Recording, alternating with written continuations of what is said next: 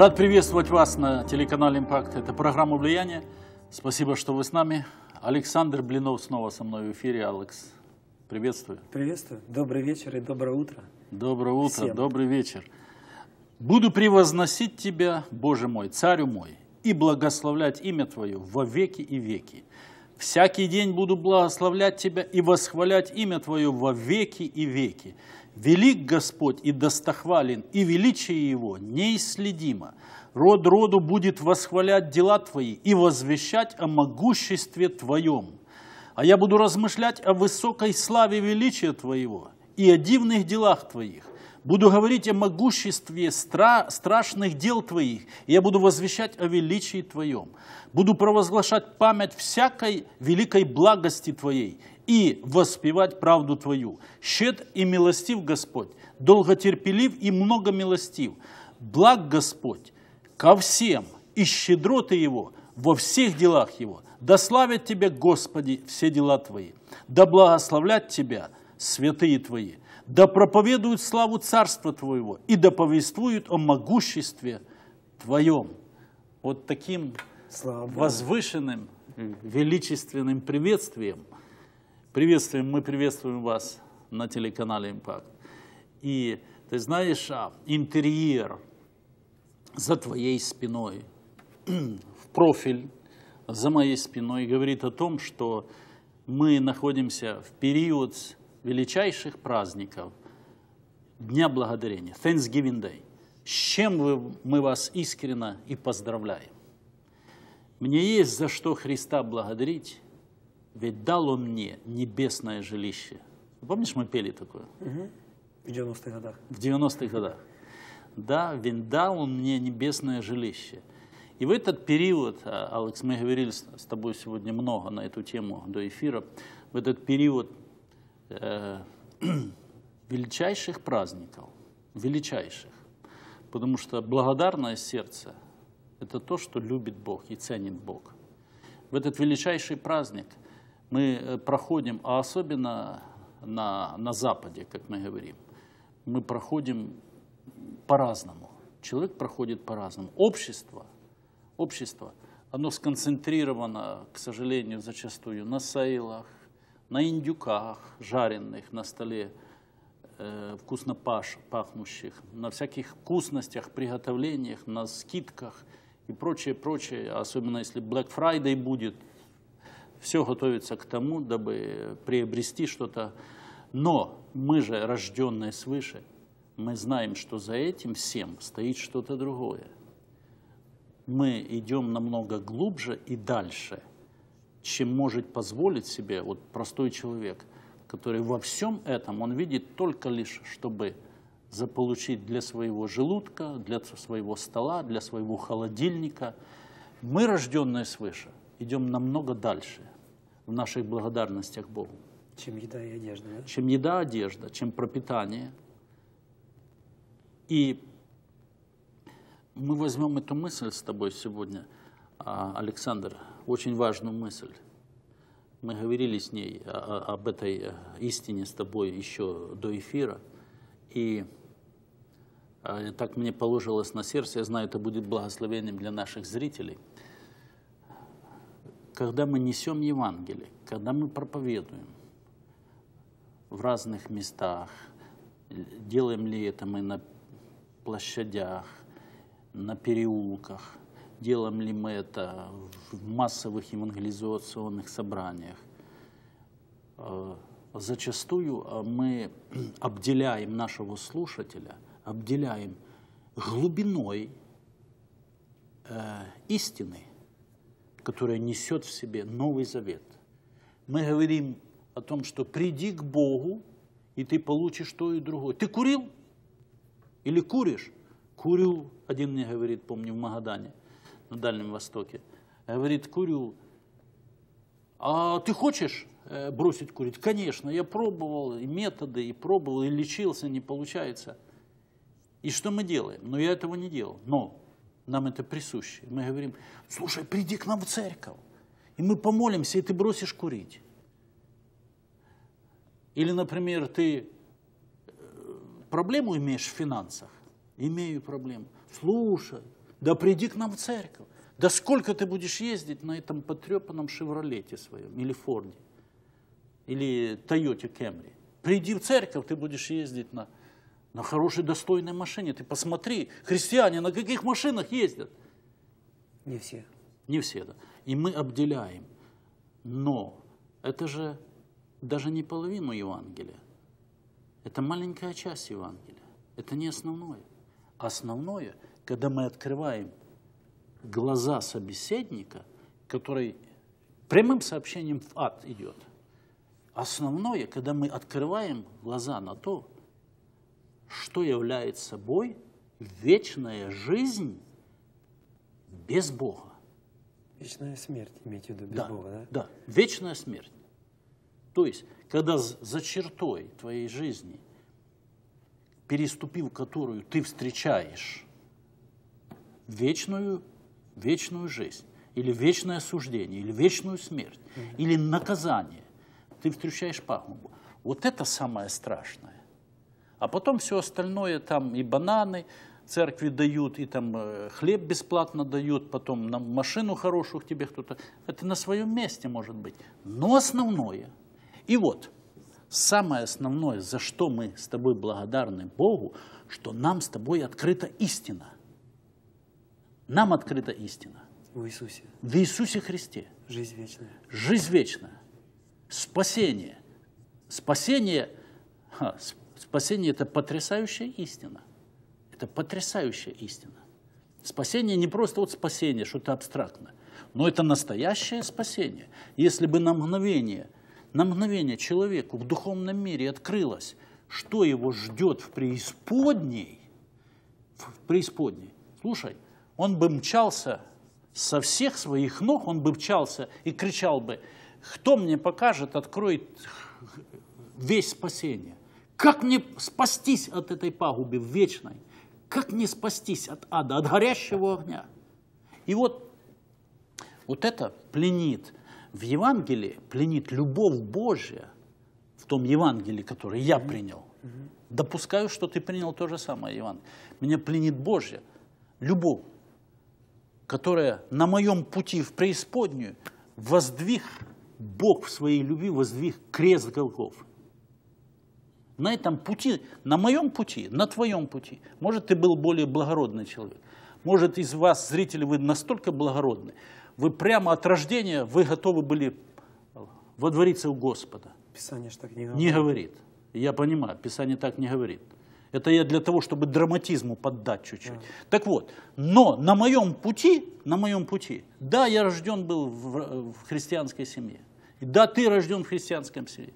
Но на моем пути обязательно должен был настать, и должен настать такой момент, когда я должен категорически сказать, я буду служить Богу. Я должен принять решение.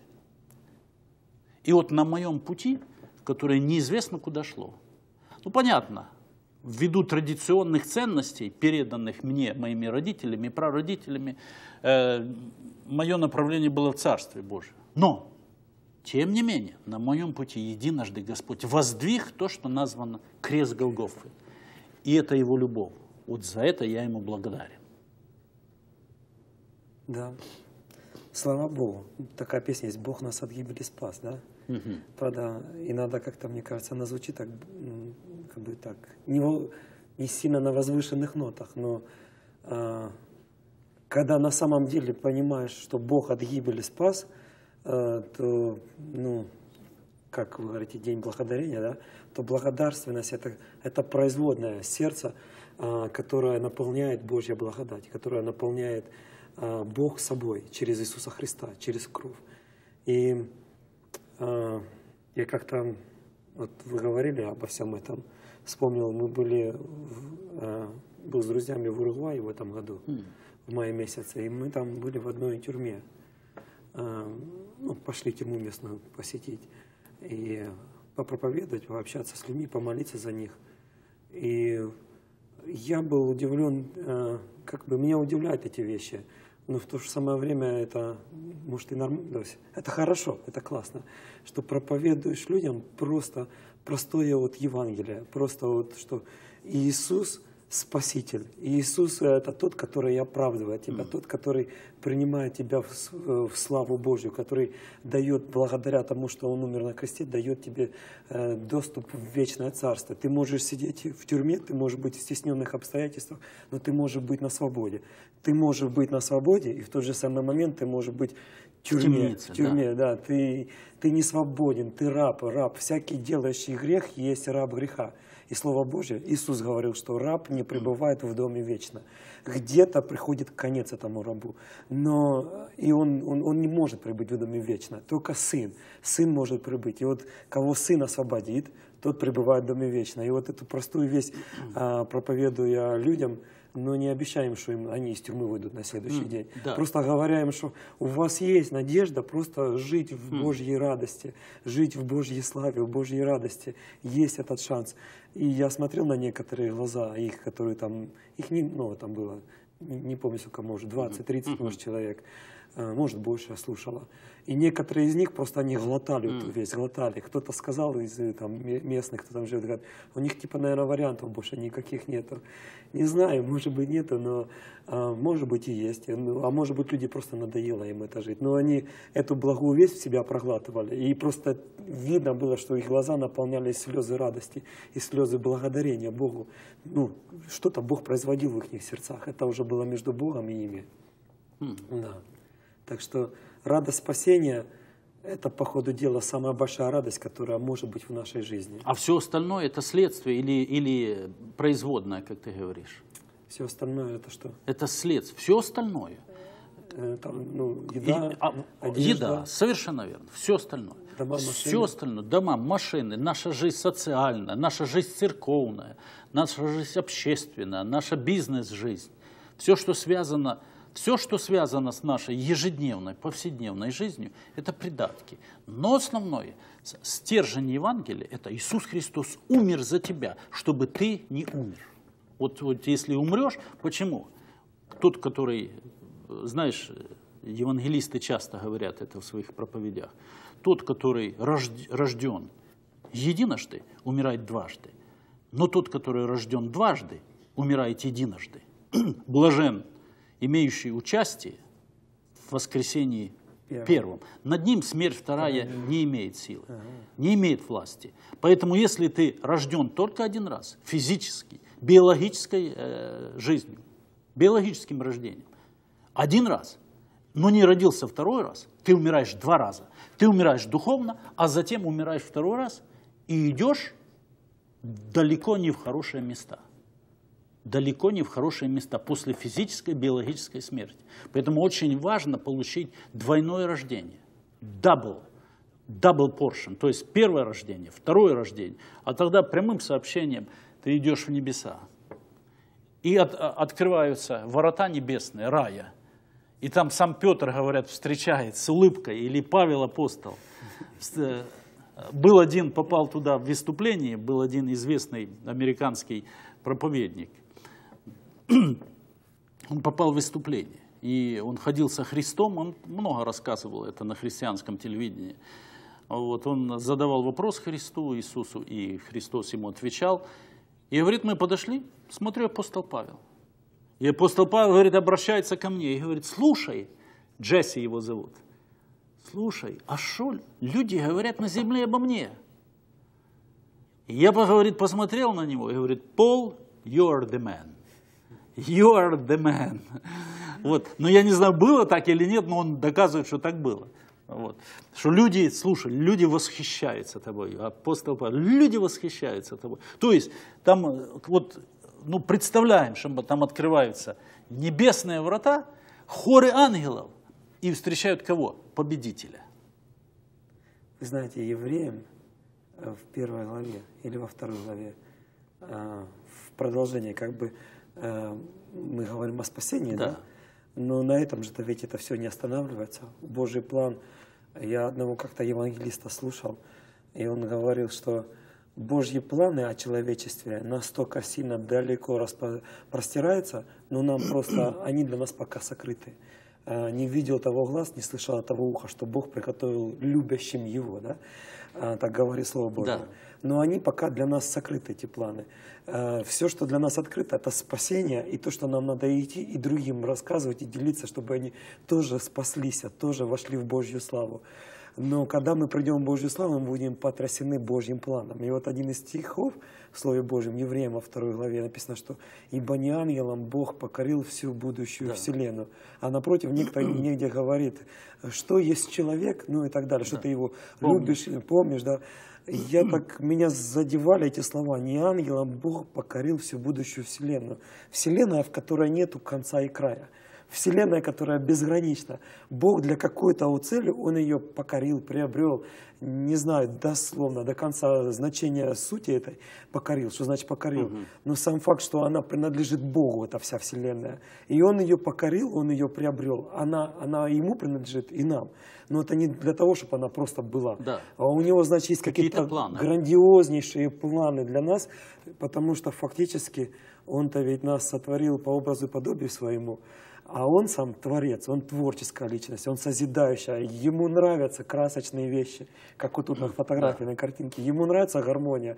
И такой же самый образ, он есть в нас, потому что по этому образу он нас сделал. Грех это все исказил, грех это все разрушил, разбил, и потому, э, если мы остаемся в грехе, если мы остаемся с дьяволом, то присущей нашей природе бомбить, разрушать, э, давить, э, кого-то в рабство загонять, там, потому что это то, что делает дьявол. Он заставляет себе поклоняться, он, он хочет быть наверху. И чтобы ему, но Богу, когда поклоняются люди, это, это совсем другое поклонение. Он дает жизнь этим людям, и оно в гармонии происходит. Оно не в рабстве в каком-то таком, вы должны мне поклоняться. Там совсем другое поклонение. И в Боге есть будущность. Он говорит, я имею о вас планы и намерения во благо вам, а не на зло, чтобы дать вам будущность и надежду. Будущность и надежда, она есть в Боге. В Боге есть будущность, в Боге есть вера. В Боге есть жизнь, и получается, если человек находится в Боге, он живет, он движется. Это тоже, ну, это же классно, вот когда вот Иисус говорит о себе, я есть путь, истина и жизнь, да? Он не говорит, что я есть депрессия, я есть неправда, на которую ты обопрешься, как он, а, помните, Бог говорит там о фараоне. да? Конечно, Ты как трость надуманная, да, на которую опирается, да. и оно входит в Да. руку и до боли раздирает еще Да. плечо. Но Бог не такой. Он правда, которая стоит, которая так раз и не, не ломается. Ты, если оперся о Божью правду, то ты на ней будешь стоять. Горы сдвинутся, холмы поколеблются, а ты в милости Божьей будешь пребывать вовек. Божье Слово говорит. И он еще говорит, что если я поклялся Давиду, то Да, изменю со- ли я? солгал ли я? Солгал Да. ли я? Сол- да, солгал Да. ли я? Еще говорят, что в двух неизменных вещах, которые Богу невозможно Да, солгать. Это обетование и Евреям 6 глава. Э, Евреям 6 глава. Потрясающее место. Он говорит, дабы в двух Непреложный. непреложных вещах, это клятва и обетование, Ага. дабы в двух непреложных вещах, в которых невозможно Богу солгать, твердое утешение имели мы, прибегшие взяться за предлежащую надежду, которая для души есть как бы якорь, безопасный и крепкий, и входит во внутреннейшее за, За завесу, завесу. куда предтечью за нас вошел, Вошел. Иисус, сделавшись первосвященником навек по чину Мелхиседека, за нас, за нас, первосвященник и ходатай за нас, Иисус. И вот в двух вещах, которых Бог просто не может обмануть, не может нас подвести, это клятва и обещание. Да, и получается, все вот это дело, когда смотришь, что Иисус есть путь, истина и жизнь. Он не есть депрессия, он не есть обман какой-то, который сегодня, сегодня ты об него опираешься, а завтра ты оказался в безвыходности, потому что тебя обманули. С людьми такое происходит, и с дьяволом такое происходит. И написано, что он есть жизнь, он не смерть. А человек, он создан для жизни.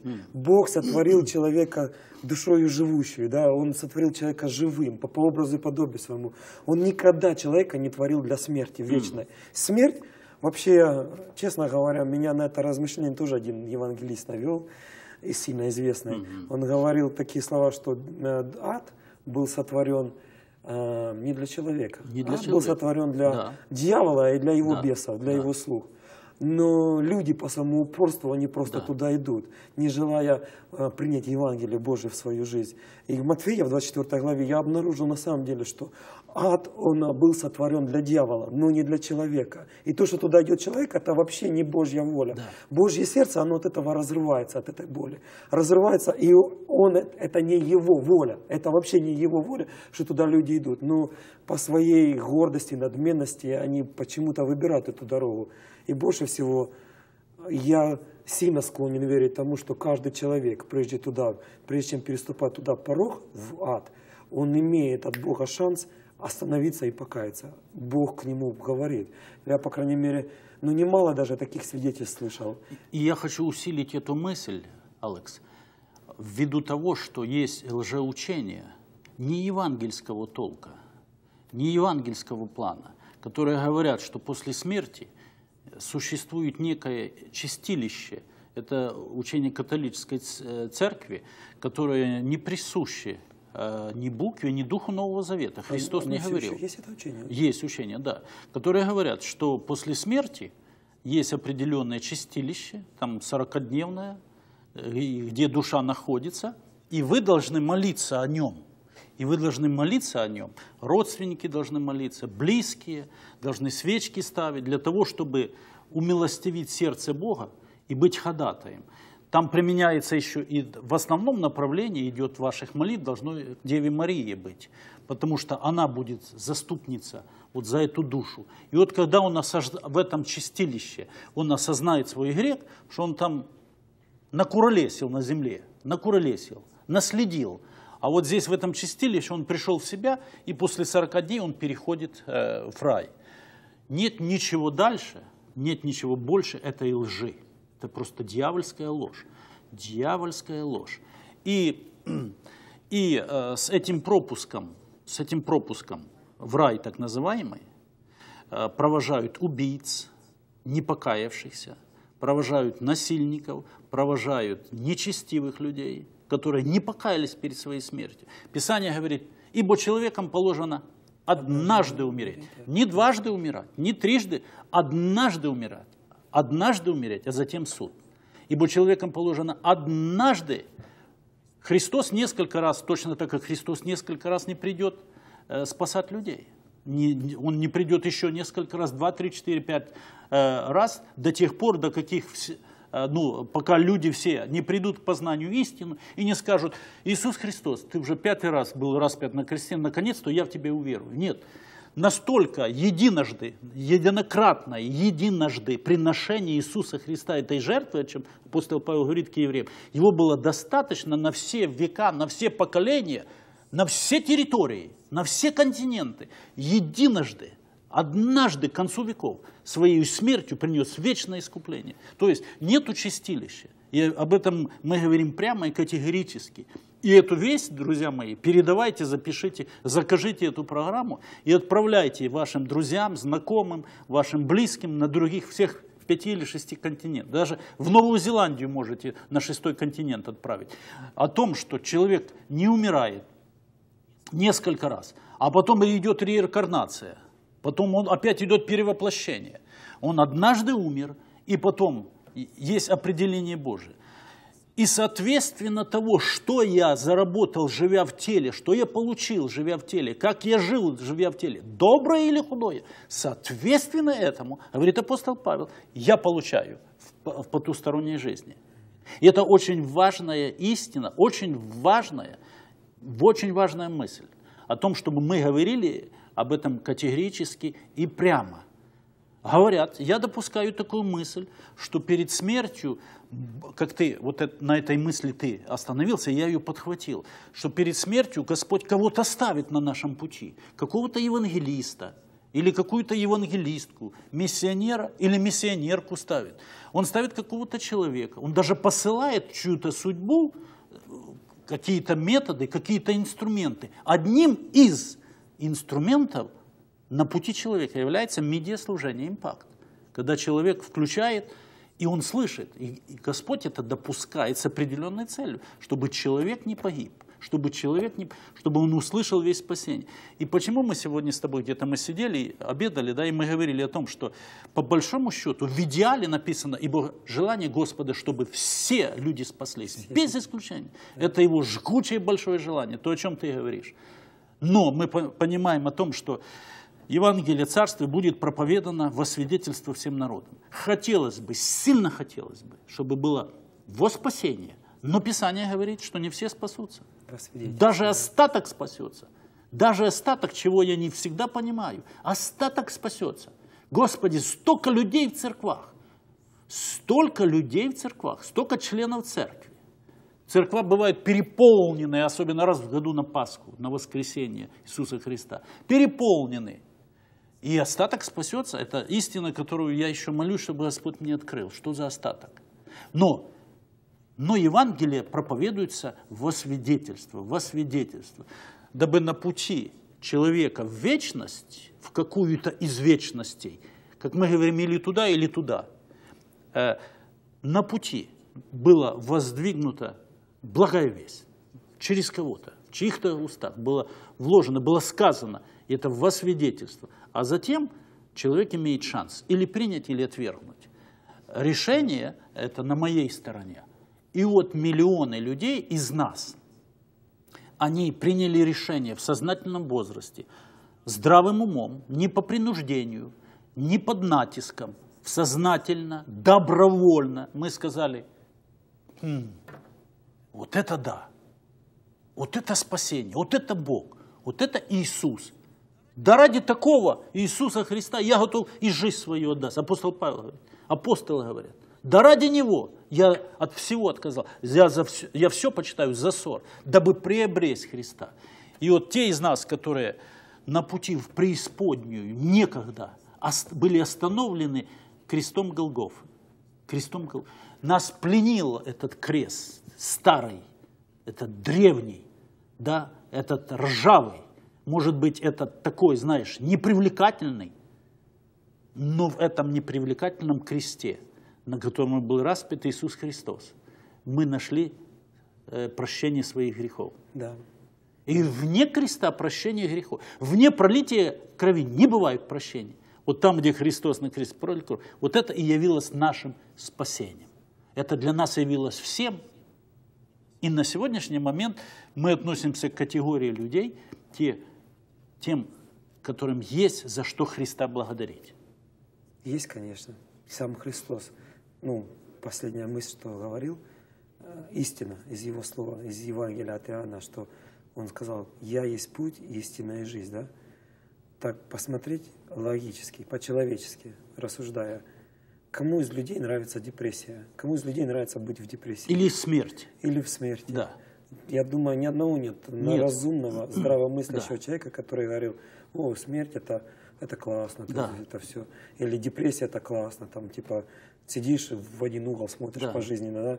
Или кому нравится, когда ему лгут, а, обманывают постоянно, и он на этой лжи строит, прав... строит свою жизнь, понимая, что а, по, при всем понимании, что это, что это ложь. Это ложь, это же где-то развалится. Оно, ну, ложь где-то тебя подведет. Mm. Обязательно где-то под бортом, как американцы говорят, under the train. Да. А, кажется, где-то под поездом или под автобусом.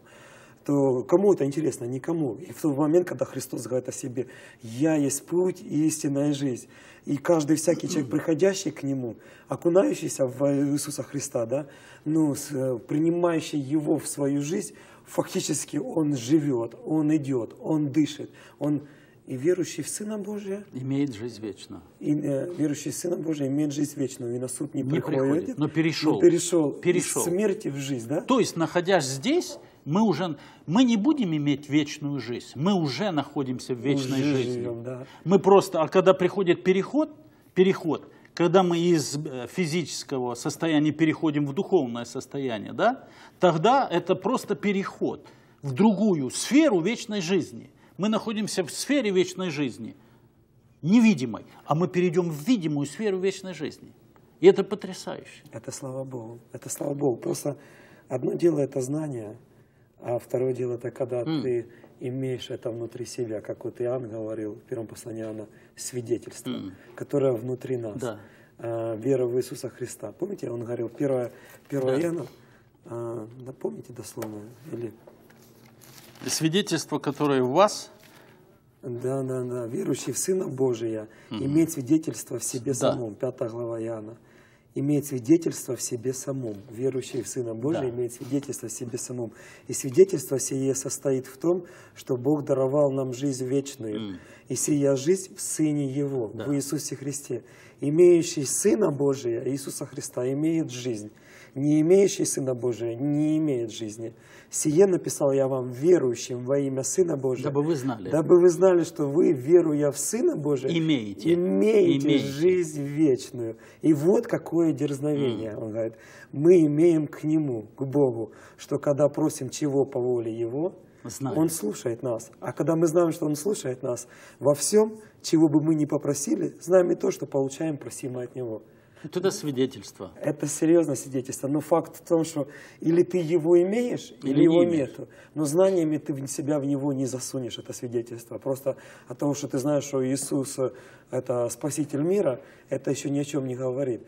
Когда ты его приглашаешь в свою жизнь, когда ты просто... э, знаете, вот меня удивляет в деяниях э, повторяющееся периодически слово «набожные». То есть э, ходил Да. Павел, ходил Павел и Петр, проповедуя Евангелие Божие, да, и люди, которые в первую очередь реагировали на это. Евангелие, это были набожные люди. Хотя э, они об Христе об этом до этого еще не знали, они это истинно не приняли, поскольку, насколько я там понимаю, читаю из Деяний, да, и думаю, я просто задавался этим вопросом, думаю, вау, именно набожные люди, такие вот расположенные внутренне как М. к богоисканию, где-то вот найти, вот помните, Павел говорит э, в Деяниях, какой-то главе, там, 17 Мгм. какой-то, что Бог, э, раз- эм, извините, я По просто- всему э, вижу, что вы люди не, не это, не в Ариапаге, он говорил. В Ариапаге, да. Да. А какая это глава? Но это 17 деяние. 17 деяние, да? Да, спасибо. Это было 17 деяние. Да. И он говорит этой проповеди своей к ним в Ариапаге. Да. А, «В Бог, сотворивший мир и все, что в нем, Не в. Он, будучи Да. Господом неба и земли, Да. Он Господь, Да. не в рукотворенных храмах живет и не требует служения рук человеческих, как бы имеющий в чем-либо нужду. Он сам, давая всему жизнь и дыхание, и все. Хм. Даже атеистам, даже э, ну, всем, кто там как бы не дышал какими угрозами Да. в сторону Бога, он им дает дыхание. Я как-то слышал мысль э, Рейн Лэмус, это сталинского пробуждения. По-моему, он на импакте был, Ага. или, может, с Алексом Шевченко в беседе. Он, э, он спросил, задал вопрос ему, говорит, «А где же Бог? Ага. Ну, говорят, что Бог был в Таллине, Да. а где он? И он ответил, говорит, Бог везде, Он во всем. Он говорит, и больше того сказал, меня просто это, это слово задело. Говорит, Мы в Боге живем, мы в Боге ходим, мы в Боге движемся, и более того, им кто-то из нас даже ругается в Боге, кто-то даже ненавидит из нас, находясь и существуя в Боге, ненавидит Бога. А Бог по своей милости дает ему дыхание и жизнь. И он, э, ну, ему задали вопрос, так почему же многие из нас не слышат Да. этого Бога, почему? И он такой сказал опять потрясающую мысль, говорит, э, что это как вот радио, говорит. У нас в Денвере есть э, K-Love, радиостейшн христианская, 911. И есть другая там радиостейшн 106,3, тоже христианская. Ну, и радио есть у всех в машине. Но это не значит, что все могут слышать эти Да. радио. Они могут другие волны слушать. Конечно. Но каждый, кто пытается настроить на эту волну, ища эту волну, он ее услышит, потому что это радио есть. То Бог есть, и Он говорит, и Он желает спасти. Но всякий вот этот Бога ищущий человек, желающий найти Господа, там говорит по- послание к римлянам, чтобы через рассматривание Творение. вечная сила Да. Его и божество, Да. Через рас- невидимое да. Его вечная сила и божество, через рассматривание творения видимы для Так что, всех они, видимы. так что они не безответны. Они не безответны. Да. Получается, каждый человек, даже отвергающий вслепую Бога, он все равно, если здраво посмотрит на творение Божье, он найдет ответ, что Бог есть, оно не само по себе возникло. И вот Бог, говорит, Писание говорит, право Павел проповеди говорит, что Бог, сам давая всему жизнь, и всему, даже атеистам, жизнь и дыхание, и все. От одной крови человеческой, от одной крови он произвел весь род человеческий для обитания по всему лицу земли, назначив предопределенные времена и пределы их обитанию, дабы они, дабы они, люди, Искали. искали Бога, не ощутят ли Его и не найдут ли, хотя Он и недалеко от каждого из нас, ибо мы им живем и движемся и существуем. Потрясающе. Другим словом, есть на Земле э, мир разделен на, на, на, на, два, на два лагеря. Ищущие Господа Ищущие и не и ищущие. не ищущие. Первое. Второе. Те, которые, получив от Бога то, что мы получили, они кредиты, как мы говорим, возвращают Богу. Они поклоняются Богу, они служат Богу. Это же производная. Это производно. Это Другая категория людей пользуются теми же благами. И над теми же восходит солнце, и над теми. И над нечестивыми, и над... Заря встает, обогревает солнце. Благодати Божьей достаточно для всех, без исключения.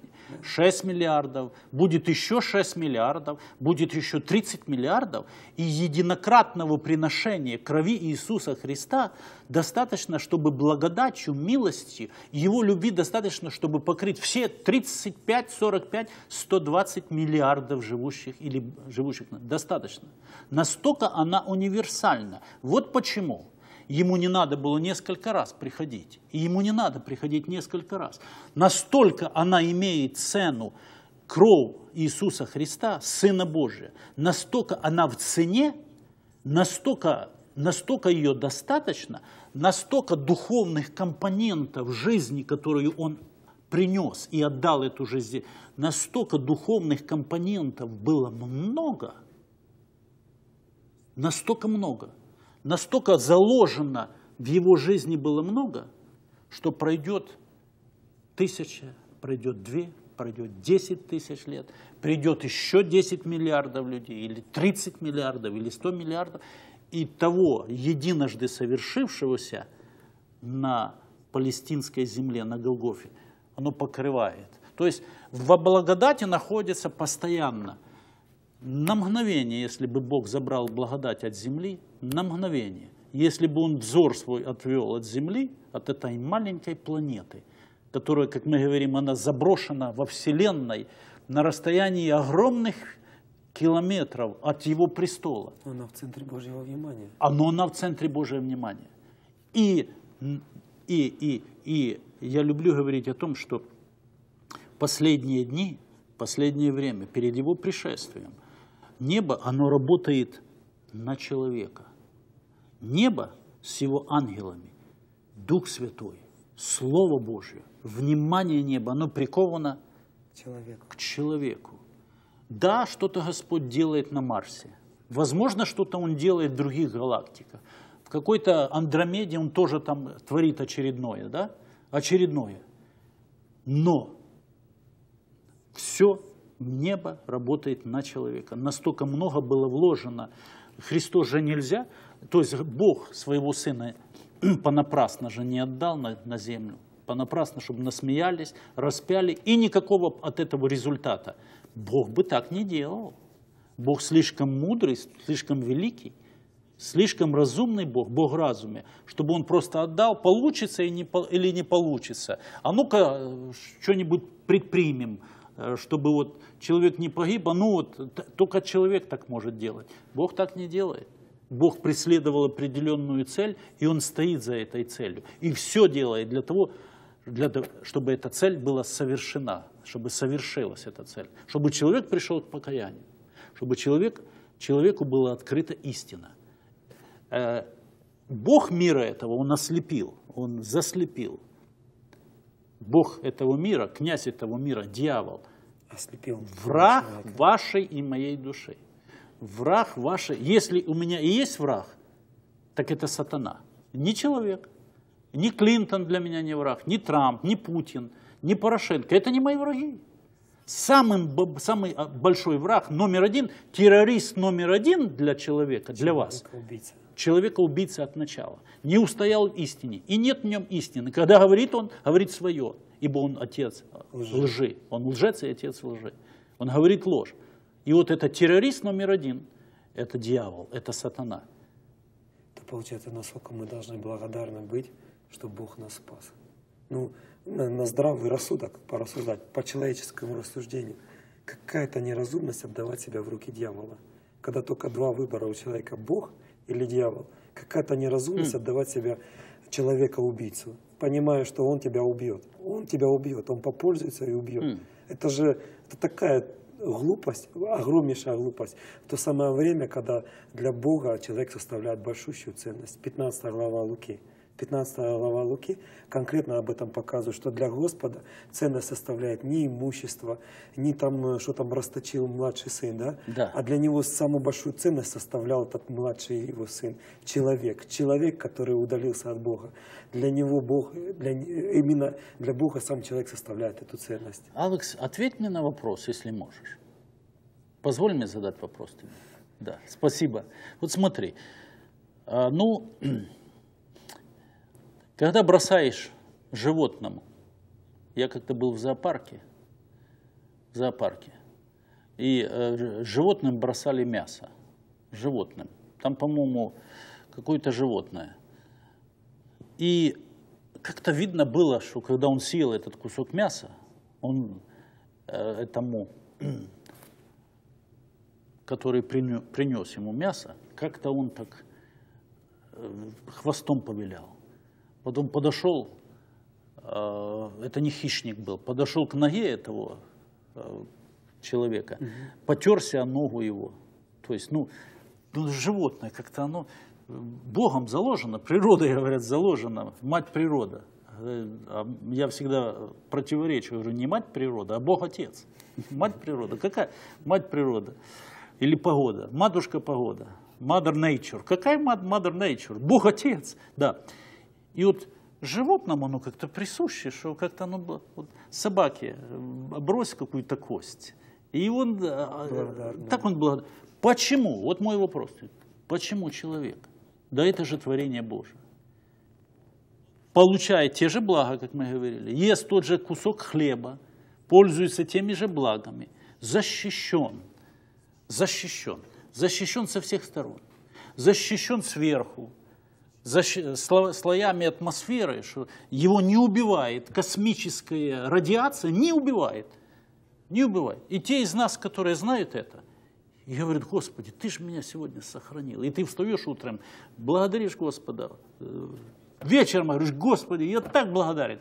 Целый день ты меня хранил. Слово Божье. вот Целый день хранил. Почему те из нас, которые могут благодарить Бога, но те, которые пользуются, и как хуже животного получается. Вот по- помоги. Где, как выйти из, из сферы информатики, информация, информация, информация, из, в сферу откровения? Это же Бог мне дал. Как я могу иначе? Интересно, что Слово Божье говорит, что Бог как небо высоко от земли, так велика милость Господа, боящимся Его. То есть, когда ты осознаешь и понимаешь, вау, это же каждый день, потому что милость Божья каждый день обновляется, так? А, отвечая на ваш вопрос,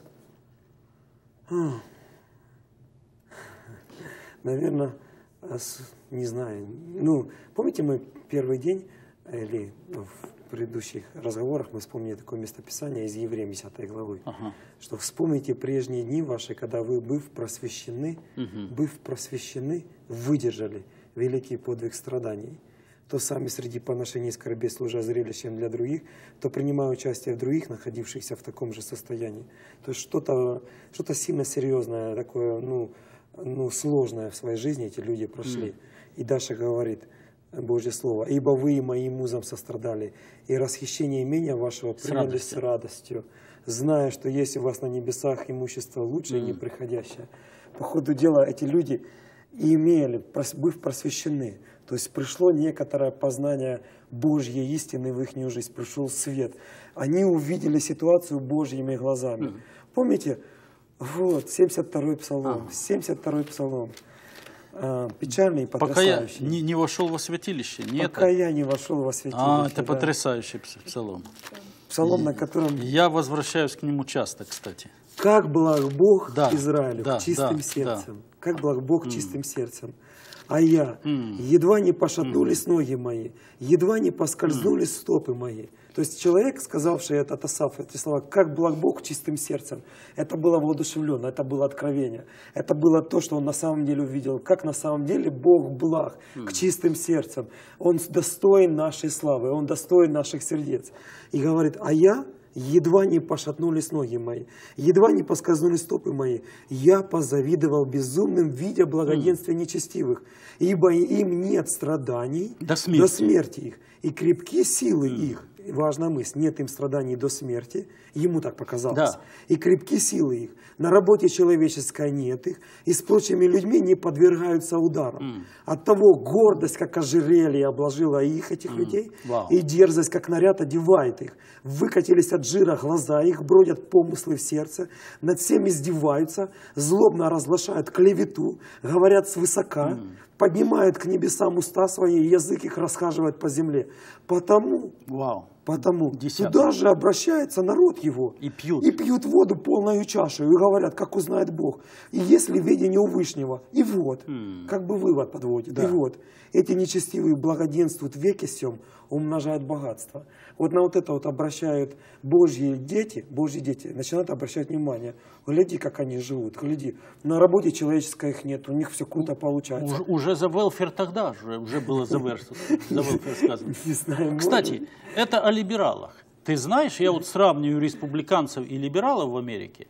Я думаю, что 72-й псалом это как раз о либералах. Вот почему и Господь посрамил либералов на последних выборах. Как раз о них написано. Не знаю, но вы говорили как-то э, давно, год-два назад, что Божье Слово, оно универсально. Универсально Оно для для, всех. для всех. И Несомненно. каждый читающий должен бодрствовать, Точно. должен видеть себя. Помните, э, Евангелие от Матфея, 6 глава, там написано, светильник для тела Да. есть око. Да. Если око твое тело Чи- чисто. чисто, то все тело Да. будет чисто. А если око твое грязно, то все тело Да. будет твое грязное. И если свет, который в тебе есть тьма, то, То какова какова же вообще тьма? тьма? да? Да, да. то получается, то, куда мы смотрим, то нас и наполняет. Если я смотрю на вот эти вот вещи, что как у того получается, Да. как у того получается, как люди мира этого устрояют свою То жизнь. есть мы сравниваем себя, но не с тем, что надо. Не с тем, что надо, да. И, соответственно, с этим у нас начинает появляться ропот внутри нас. А почему у меня не так? Но когда я смотрю в Божье Слово, когда я наполняюсь Божьим Словом, когда я верю, верю, когда я имею общение с Духом Святым, о чем Павел говорил, благодать Иисуса Христа и любовь Бога Отца, и общение Духа Святого, да пребудет со всеми вами. Аминь. Да? Так, говорю- так мы в наших церквях очень часто повторяем эту фразу. И общение Духа Святого. То есть это то, чем мы должны наполняться. А Дух Святой нас не наполнит каким-то депрессией какой-то, а Он нас не наполнит тем, что ну, нас разобьет. Ширпотребом. Да, не наполнит нас какой-то ложью, Да. не наполнит тем, что мы будем обращать туда свой взгляд и пить эту воду полной чашею, и будем говорить, как узнает Бог, и есть ли у него видение. Это же слова ропота, это же слова неверия вообще, неверия по отношению к Богу. И он это говорил доколе. Доколе, говорит, я не вошел во святилище Божие, да, и думал я, как бы уразуметь мне это. Но это трудно было в глазах моих. Это нереально, пока мы не войдем Во именно в святилище, общение, да. общение с Духом Святым. Святилище – это общение с Духом Святым. И там происходит Божье просвещение, о чем говорится Там настоящая евреям. реформация. Говорит, будучи просвещены истиною, выдержали великий подвиг страданий. Потому что вот эти слова, которые он тут говорит, но я всегда с тобою, хотя это в Ветхом Завете. говорит, Да. Ты держишь меня за правую руку, ты руководишь меня советом твоим, и А потом затем примешь примешь меня в славу. И вот потрясающие слова. Кто мне на небе? Да. И с тобою ничего не хочу на земле. Вы представляете, какое откровение в те времена имел этот человек? Верю, что у него и было благодарное сердце. И ты понимаешь, вот э, нам присуще, когда мы э, моделью своего подражания, мы не на тех смотрим. По-человечески, по-человечески Асав, возможно, был прав.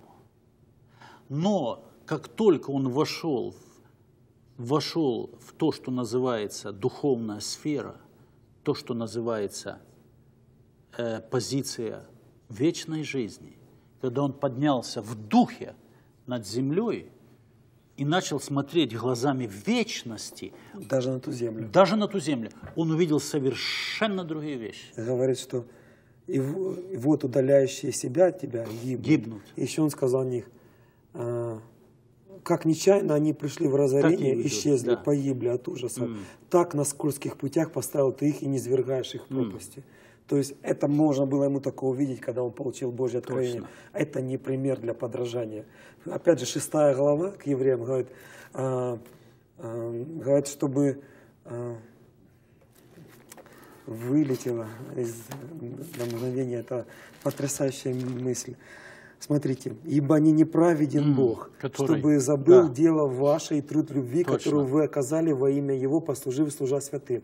Желаем же, чтобы каждый из вас для совершенной уверенности в надежде оказывал такую же ревность до, До конца. До конца. Ревность эту оказывал до конца.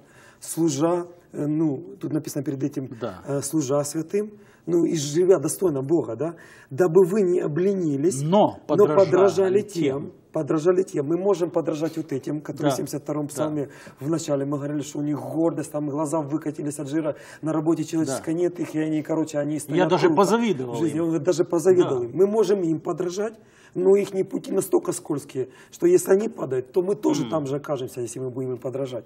Но написано, дабы вы не обленились, но подражали тем, определенному контингенту людей, которые верой и долготерпением наследуют обетование.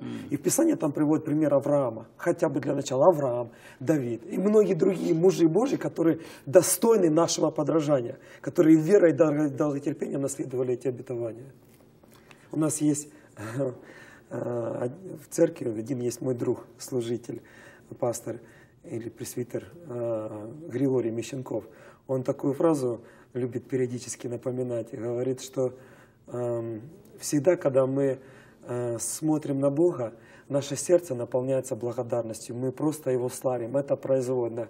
Когда мы Его перестаем видеть, отворачиваемся от Него и смотрим куда-то в сторону, э, мы можем даже начинать роптать, потому что ну, потому что вот так оно получается, это производное. То вывод со всего этого, важно его видеть, важно на него держать свой взор. И плюс, я бы добавил к этому пастору Григорию еще некоторые свои э, умозаключения, тоже, которые Господь положил на сердце мне и ложит на сердце, что когда мы сравниваем себя с кем-то, очень часто мы даже можем выглядеть лучше другого. Зачастую в своих глазах мы можем, сравнивая себя, даже не с нечестивыми, я беру, я беру другую сторону, я противоположность беру. Мы сравниваем себя не с нечестивыми, мы сравниваем себя с нашими соотечественниками, с нашими собратьями, сослужителями, соцерковниками, с нашим сообществом, я так скажу, да, мы сравниваем. И мы говорим, о, я лучше выгляжу. Я выгляжу лучше. Смотри, он сделал то или другое или третье, а я этого не делал. Или она сделала то, а она так поступила или так, или так, я этого не делаю.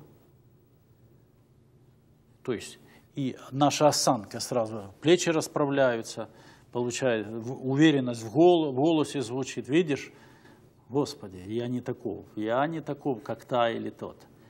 И мы можем так действовать и сравнивать до тех пор. Я могу выглядеть а, хуже в ваших глазах, если вы сравниваете меня с другим служителем, да? Так я в прямом эфире говорю. Вот кто-то может сидеть и критиковать Юрия Чернецкого или Александра Блинова.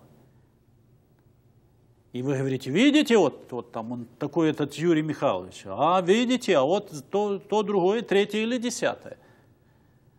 Вы можете до тех пор это делать, и я могу до тех пор это делать по отношению к тебе. А, Блинов, хм, ну это ж Блинов, Хм, ну это ж Блинов.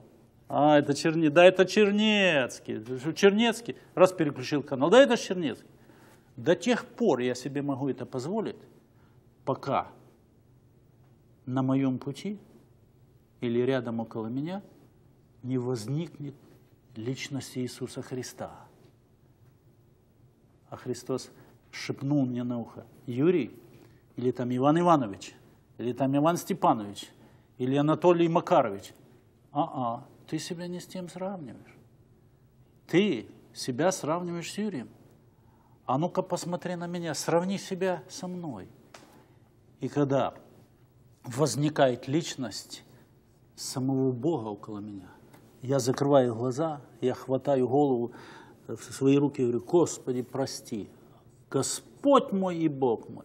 И я себя не с тем сравниваю. Вот если бы мы научились так себя сравнивать, мы бы меньше критиковали друг друга, меньше осуждали бы друг друга. Взор не своди с Иисуса. На Него смотри, на Него смотри, на Него. Не будет времени тогда того критиковать, э, на того камни бросать. Не будет времени, потому что в Его присутствии блекнет всякая храбрость, блекнет моя святость в Его присутствии, блекнет моя праведность. Он должен быть причиной моего подражания, а не брат, сестра Таня, Маня, Ваня. И это потрясающе, это потрясающе. Вот когда мы действительно имеем в разуме Иисуса, когда мы видим Его, я всегда видел Господа перед собой, ибо Он одесную меня. Да. Когда мы это видим, когда это мы знаем, мы, мы благодарим Его, мы Его благодарим. Благодарят нас или не благодарят, улыбаются нам или не улыбаются, э, дают нам или не дают, мы Его благодарим. Он источник моей жизни, Он источник моего всего. Если Он на мгновение заберет дыхание, вот начинает, бывает такое, переб... и все, казалось бы, еще секунда и все, и нет жизни, это же в Его руке, это Он, это Он, это Он, это Он. Алекс, последнее слово тебе, брат мой. И мы будем уходить из эфира через минуту.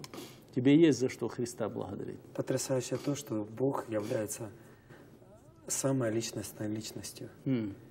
И всякий человек, а, приходящий к Иисусу, а Иисус тоже, Иисус Да. Бог, приходящий к Иисусу а, и совокупляясь с Ним в общении, да, он тоже становится личностью. Личностью. Бог поднимает человека и делает его личностью. Если человек перестает ориентироваться на людей, а ориентируется на, на... Да. Помните, в Евреям написано, что взирая на начальника и совершителя Конечно. веры Иисуса, будем проходить с терпением предлежащее Да. нам поприще.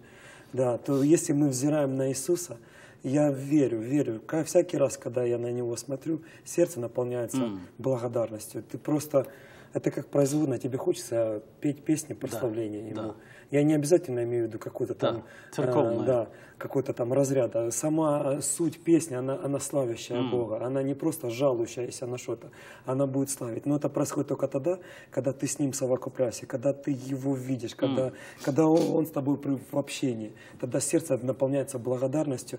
И из уст нередко вы- выходят такие слова, Господи, просто спасибо Тебе за то, что Ты есть в моей жизни. Спасибо Тебе, что Ты меня нашел. Благодарю Тебя, что Ты меня спас, привлек, взял в свои руки. Потрясающе. Итак, друзья, Александр Блинов, мы рады всегда видеть и всегда будем рады тебя видеть. Всегда welcome, anytime на Impact. Друзья, видите, э, мы при- пришли к завершению эфира. Спасибо, что вы были с нами.